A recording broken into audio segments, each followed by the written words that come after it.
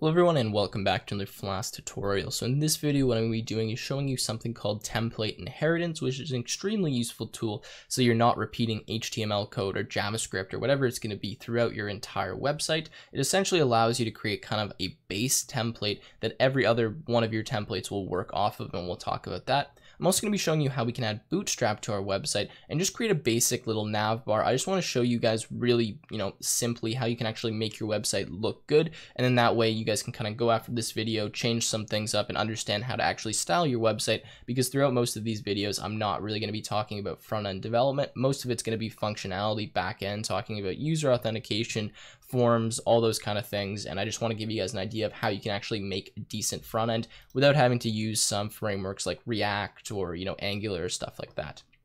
All right, so let's go ahead and get started.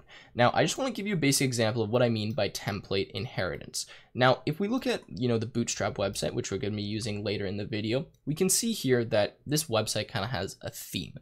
And we can kind of detect that theme by this nav bar up here that's, you know, a specific color. It has some things on it. And we know that when we click items on the nav bar, depending on what we click, obviously, we're probably going to be directed to a page that looks similar with just slightly different content. Now, it wouldn't really make sense for Bootstrap or for any of these websites to keep writing the code to generate this navbar on every single web page that they have because this is kind of something that's set. It's going to stay the same for most of the pages. And in fact, there's probably some more other similar things like maybe, you know, the footer at the bottom of the website. Well, I guess it doesn't have one, so I can't show you, um, that are going to stay the same. So what should we do to, you know, accomplish not having to repeat this code? Well, Flask at least makes this really easy because we can actually inherit templates. Now what I'm going to do to illustrate this is just create a new template. So I'm just going to create a new file. I'm going to save this as base.html and this is going to represent the base template or kind of the base theme of my website. It's going to store all of the HTML code that will persist throughout most or the entire website. Now in here, I'm actually just going to copy all the HTML from index.html and put it directly inside here. Now I'm going to delete this from index.html and we'll start working with a few things here.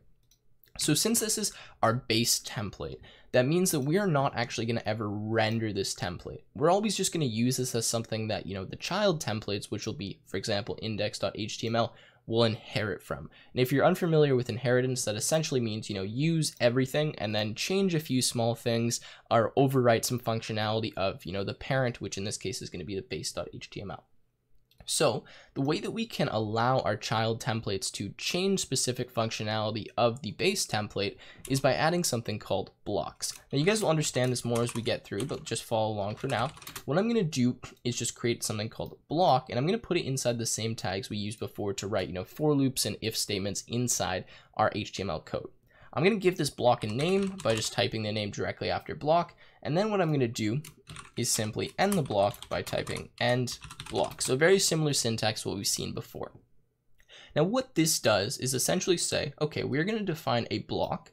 We're going to call it content. And this block, we will allow the child template to give us some content that we will fill in. So essentially what I can do now is I can go to this child template, I can inherit base.html, I can create this block, and then I can tell, you know, this block where what content I want, and then it will actually substitute it inside here for a title, and it will use that title when we render the template. So rather than talking about it, let's actually do it. So to extend a template, what we need to do at the very top of our template is type extends, not in all capitals, like this, and then in quotation marks, the name of that template. So in this case, it's going to be base.html. And it's important that these templates are in the same directory so that they can actually see each other. If they're not, then you'd have to do, you know, like folder slash base.html if that's inside an interior folder. Okay, so we're going to extend base.html. And now what I'm going to do is actually give some content for that block content. So this is the exact same as what we had in our base template, except this time I'm actually going to put some stuff in between these kind of blocks. So I'm going to say end block like that. So block content and block.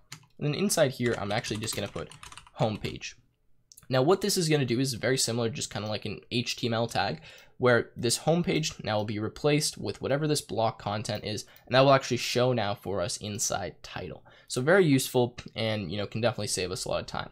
Now what I'm going to do is get rid of this content here, um, and I'm actually just going to put something that just says, you know, Tim's website. And this H1 tag, I'm assuming is going to be shown on every single page no matter what. So we'll leave that there as the h1 tag. But what I want to do is create another block, and I'm going to call this, um, oops, and I've called this block content. Sorry, I want to call this block title. My apologies, guys, because I actually want to call my next block block content. so we'll change the name of that. And then what I'm going to do is define another block. I'm going to call it block content, which will represent, in our case, the content of the website or the content of the web page. So I'll do, actually, I don't know why I copied that. And then we'll type end block. And now what I've done is define another block that we can, you know, overwrite. We can put some information into. So now from our child template, we'll write this block again. So we have block content, and then we will simply end the block. And now in between these two tags, I can put any HTML code I want, and that will actually be rendered to my base.html template whenever, you know, we have that popping up. So let's do another h1 tag and we'll just say, you know, test like that, and we'll leave it at that for now. Okay, so let's go back to our actual Python code now. This is the exact same that I had in the last video, so if you haven't seen that, then you can check that out. And quick side note, I will be putting most of this code on my website, and there will be links in the description to that. I'm going to make one minor change to this because someone did leave a comment, and this is definitely going to be helpful for all of us.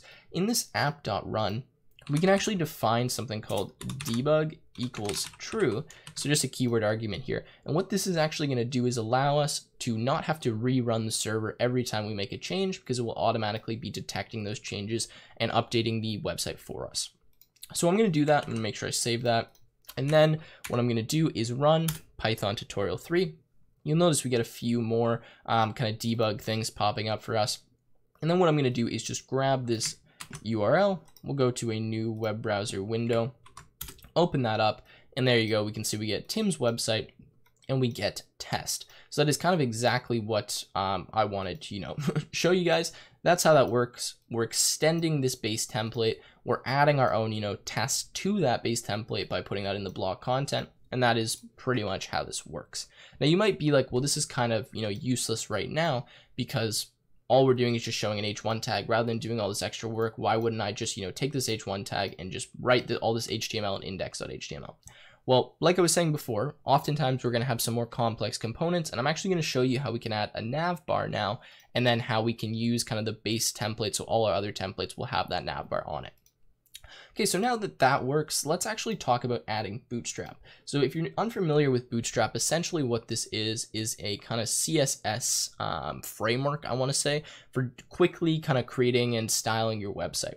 Now to add this is actually pretty easy. And what I'm gonna do is just grab from the Bootstrap website, which I'll leave a link to in the description down below. I'm gonna look where it says CSS and I'm going to copy this link right here. So there's actually something that says copy. So all of this. And again, this code will be on my website at some point. So if you miss that, you should be able to grab it. I'm going to take that CSS link and I'm going to paste that inside of my head tags of my website. In this case, the base.html template. Next, what I'm going to do is go to where it says JS here. I'm going to copy all of these scripts and I'm going to put them at the end of the body. So at the very end of the actual base template here. Now what this is going to do is allow us to use kind of a library of different classes and I guess like I I don't even know what you call them, just a bunch of different kind of styling things from Bootstrap to make our website website look nicer. all right, so there we go. We have all of that added in, and now we actually have Bootstrap. And in case you're wondering how this works, this is on what I think is called a, C, a CDN, which essentially means we don't actually need to download any files because this is just going to grab the CSS code and the JavaScript code from the internet. So that's kind of how that works. Okay, so now that we have all that, what I'm actually going to do is show you how we can just grab, you know, a kind of a sidebar layout or a navbar layout from this actual website. So what I'm going to do is literally just search navbar on Bootstrap here, and I'll leave a link to this as well. What I'm going to do is just look for one that I like. You know, here's a navbar. Um, here's a navbar. There's a bunch of different navbars that you can see. And this is what I typically do whenever I'm styling a website. I just take all this code for a navbar copy it and just put it on my website. There's a reason they have it here so you can, you know, modify it, change it, and also just use it. So what I'm going to do is take that code for the navbar, copied it, and I'm just going to put it at the top of my body. Now I will fix this indentation because that kind of frustrates me when it's off. But now what I'm going to do is essentially I've added this to my base template. And now this means that any child template will automatically have this navbar at the top of it. And if you don't believe me, let me show you. So actually let's go here and refresh. And now you can see we get this nice navbar popping up at the top of our website. We also get Tim's website and we get test, but you know, I can delete that h1 tag because we probably don't want that everywhere.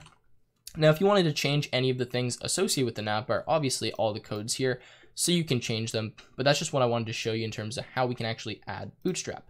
Now, the reason this navbar is actually working properly is because well, we added Bootstrap into the website, but if for some reason when you add this and it's not working or, you know, the style's looking different than this, then that probably means you didn't add Bootstrap correctly and you need to make sure that you add this link at the top of your head tag, so at the very beginning before everything else, and that you add these scripts for the JavaScript and the jQuery at the end of your body tags.